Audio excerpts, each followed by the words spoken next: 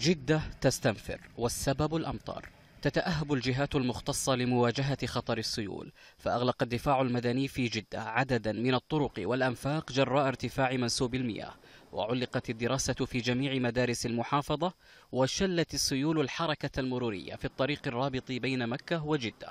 وتلقى الدفاع المدني بلاغا عن حالتي وفاة نتيجة صعق كهربائي بحي الفيصلية وسط محافظة جدة. ونفذ رجال الدفاع المدني عمليات إنقاذ لمحتجزين جراء الأمطار. مركز الأزمات والكوارث ناشد سكان محافظة جدة البقاء في المنازل وعدم المغادرة إلا للضرورة القصوى وتجنب العبور في مواقع جريان المياه والسيول حفاظا على سلامتهم. وأجلت عدة رحلات داخلية ودولية جراء الحالة الجوية الماطرة في المحافظة لكن مسؤولي مطار جدة نفوا توقف الرحلات الجوية بشكل كامل.